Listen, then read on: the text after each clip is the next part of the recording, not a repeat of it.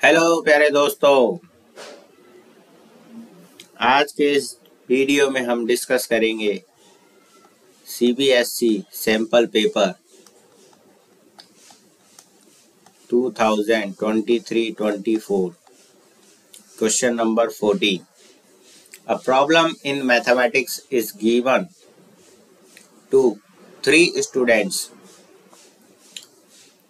whose chance of solving it are 1 upon 2, 1 upon 3, 1 upon 4 respectively. तो यहाँ पर आपको A B C respectively event दे रखे हैं प्रॉब्लम को सॉल्व करने के लिए तो यहाँ प्रोबेबिलिटी दे रखी है आपको ए इवेंट की one by two B event की दे रखी है वन बाय थ्री और सी इवेंट की आपको दे रखी है one by four A B C three event आपने कंसिडर कर लिए। ठीक है? ए बी सी क्या है आपके? इंडिपेंडेंट इवेंट आपने कंसिडर कर लिए और उनकी ये प्रोबेबिलिटी आपको दी हुई है। ठीक है? If the events of their solving the problems are independent then the probability that the problem will be solve ये आपको फाइंड आउट करना है। तो problem is solve if at least one of them solve the problem ठीक है ना? भाई problem solve हो जाएगी अगर कोई एक भी सॉल्व कर देगा तीनों में से तो। तो रिक्वायर्ड प्रोबेबिलिटी जो है वो आपको निकालनी है। तो P A union B union C आपको निकालनी है। So one minus P A bar P B bar P C bar आप कर दोगे यहाँ पर। ठीक है तो one minus P A bar निकालना है। तो पी ए आपको यहाँ दिया हुआ है तो वन माइनस पी ए कर दोगे आप तो पी ए बार आ जाएगा। पी बी बार क्या हो जाएगा? वन माइनस पी बी कर दोगे, यानी कि पी बी है वन बाय थ्री। और पी सी बार निकालने के लिए वन माइनस पी सी कर दोगे, और पी सी है वन बाय फोर। ठीक है, जब आप इसको सॉल्व करोगे तो सॉल्व करने के बाद आ रहा है one minus one by four, that is equal to three by four so आपका ऑप्शन डी जो है वो करेक्ट है इस गिवन क्वेश्चन के लिए। ओके इस तरीके से आपको इस क्वेश्चन को सॉल्व करना है। Next question question number fifteen the general solution of the differential equation y dx X D Y is equal to zero and यहाँ गिवन है एक्स और वाई ग्रेटर देन ज़ीरो है। और सी जो है आरबिटी कॉन्स्टेंट आपको यूज़ में लेना है। ठीक है ना? यहाँ पे जैसे ऑप्शन में आपको सी दिया हुआ है। तो सबसे पहले Y D X is equal to ये क्या हो जाएगा? X dy हो जाएगा। अब एक्स वाली टर्म से एक तरफ़ कर लिया वेरिएबल सेपरेशन से। वाई वाली टर्म एक तरफ़ कर लिया। फिर इंटीग्रेशन करेंगे बोथ साइड यहाँ लॉग एक्स आ जाएगा। यहाँ log y आ जाएगा इंटीग्रेशन कांस्टेंट आप ले लो।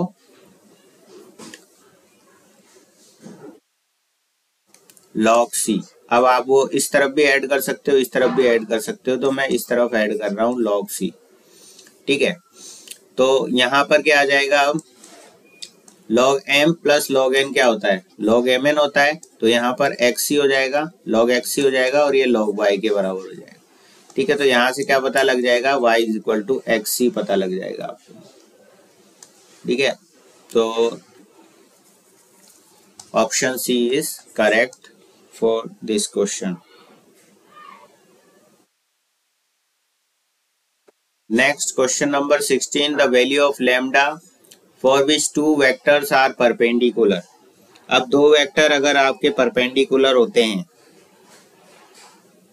तो डॉट प्रोडक्ट जो होता है वो आपका ज़ीरो होता है। A vector dot B vector zero होगा, अगर ए वेक्टर परपेंडिकुलर है बी वेक्टर के। ठीक है? सो यहाँ पर ए वेक्टर आप मान लो फ़र्स्ट वाले को, two I cap minus J cap plus two K cap को। डॉट प्रोडक्ट आप करोगे three I cap plus lambda J cap plus K cap के। सो टू को मल्टीप्लाई करा थ्री से तो सिक्स आया। माइनस वन को मल्टीप्लाई करा लेमडा से तो माइनस लेमडा आया। टू को मल्टीप्लाई करा वन से तो टू आया। इसको करना है आपको ज़ीरो के इक्वल ठीक है ना? क्योंकि ये क्या है? ज़ीरो के इक्वल करोगे क्योंकि ये परपेंडिकुलर है तो ये ज़ीरो के इक्वल होगा। तो यहाँ से आया आपके पास eight is equal to lambda यानी कि option D is correct next.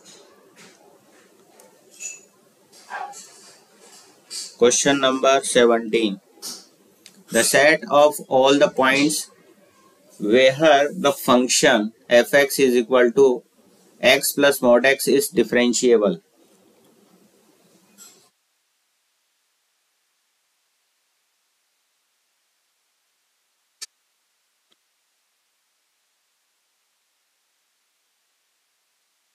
तो एफ़ एक्स यहाँ आपको दे रखा है x plus mode x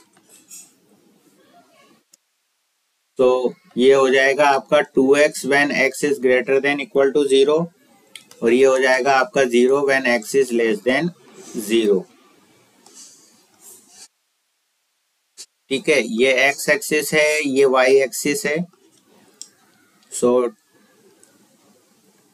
Y is equal to two X का ग्राफ ये हो गया। ठीक है? तो ये Y is equal to two X हो गया। X is greater than zero के लिए। ये ज़ीरो हो गया। और यहाँ पर y is equal to zero हो जाएगा। x is less than zero के लिए। y y डैश और यहाँ आ जाएगा x x डैश ठीक है? There is sharp corner. At x is equal to 0 So fx is not differentiable. At x is equal to 0.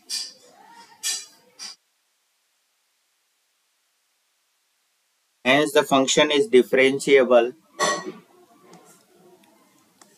when x belongs to minus infinite to 0 union 0 to infinite.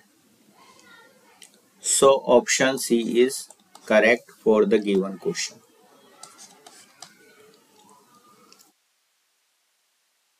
Next question number 18. If the direction cosines of a line are 1 by c, 1 by c, 1 by c, then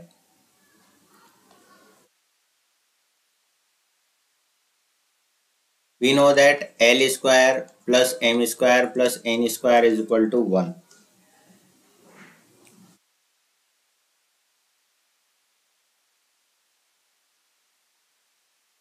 तो यहाँ पर आपको क्या निकालनी है c की value निकालनी है तो ये क्या हो जाएगा one by C square plus one by C square plus one by C square क्योंकि एल एम और एन की वैल्यू दे दिए, क्योंकि we know that L M N क्या होते हैं आपके?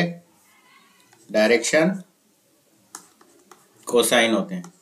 तो ये हो गया three one by C square is equal to one three is equal to C square so यहाँ से सी की वैल्यू आ गई plus minus root three option D is correct